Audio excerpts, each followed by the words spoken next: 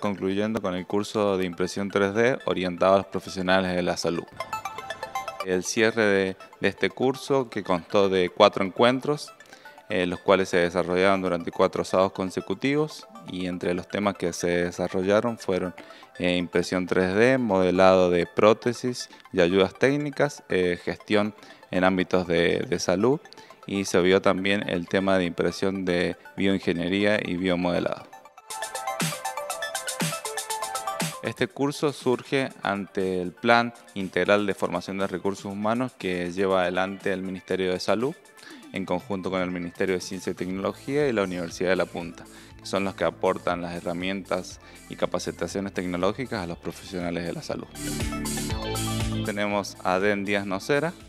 quien nos está eh, explicando todo sobre el modelado de impresión 3D en esta última clase fundamentalmente. Durante el transcurso de la capacitación los entrenamos en todo lo que es procesamiento de estudios por imágenes médicas, la importación para después la impresión 3D de estructuras anatómicas de pacientes específicos. Esta clase en particular fue un repaso de todo lo que hemos visto y la parte de impresión, que es el último paso, la parte más técnica de impresión 3D y materiales.